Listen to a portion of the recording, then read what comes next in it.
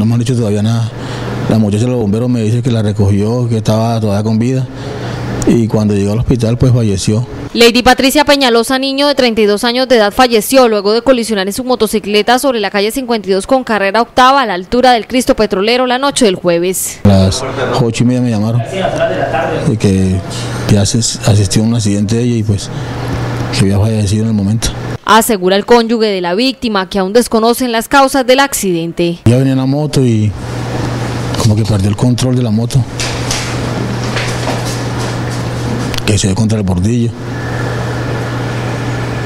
Y de ahí no supe más. Conmocionado por el suceso, el compañero sentimental de Lady fijó que la mujer laboraba como transportadora informal. Mañana, salió una mañana y, y me llamó como a la, me hizo como cuatro llamadas antes de mediodía.